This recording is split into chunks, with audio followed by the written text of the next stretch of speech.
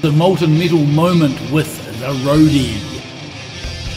In 2016, I spoke to vocalist and bassist from New Wave British Heavy Metal legends Cloven Hoof, Lee Payne. Here he tells me a story about visiting Ozzy Osbourne. I've been to Ozzy's house, you know, like before, and that was actually, yeah, I'll probably tell you about it then. it's, it's like. It's like in the in the old days when uh, you know he, kind of uh, got sort of off Dismissed there to Sabbath.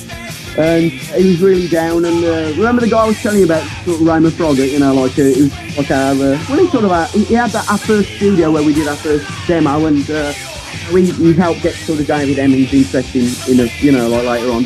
He's great, great mates with Ozzy. And Ozzy rang him up and he said, uh, you know, like, uh, you know, really thought it was down and miserable. So he said, uh, well, I'll come up, come over, you know, like, and, uh, you know, you tell me all about it. And he, he said to me, he went, uh, I bet you'd like to come as well, wouldn't you? I went, uh, well, Ozzy, yeah, absolutely. So, so, so we, we went to his house and he's in a right state. You know, like, uh, the, basically, all, all he's got in his fridge is just like, you know, stacks of lager and, and bugger all else. So, uh, anyway, so he, he, he, you know, he was just moaning about, like, the, the, the what's, his name, uh, Don Arden, which is, uh, like, his dad. Uh, he said, uh, you know, I can't understand it, you know, like, it, I thought we got on really, really well, you know, he even named his dog Ozzy. said think about it, you know, and, and he said, uh, you know, and what have I got? Just these stupid albums, you know, sort of gold records and everything on the wall. Went, you know what? I've never played one of these.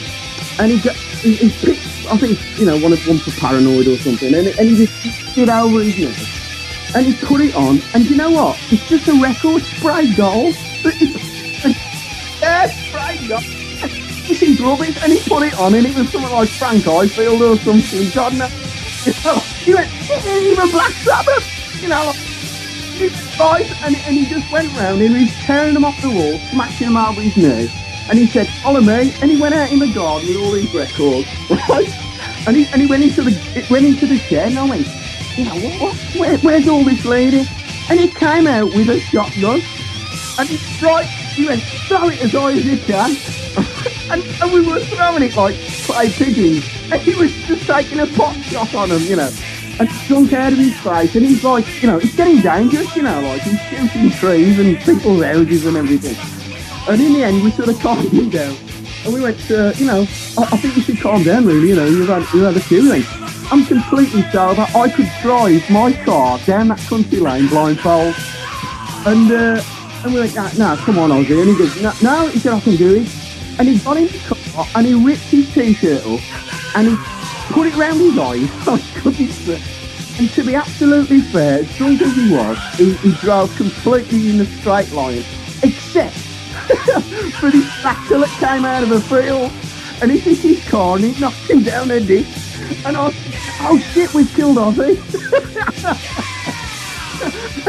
well, anyway, like the ambulance came, and in the end, he ended up like sort of in hospital. And uh, Froggy visited him next day, and instead of sort of moaning like, "Well, you didn't look after me very well" or anything, all he said was, "Told you I'd do it."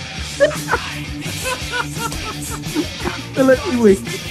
But uh, yeah, that's Ozzy for you. The molten metal moment with the roadie.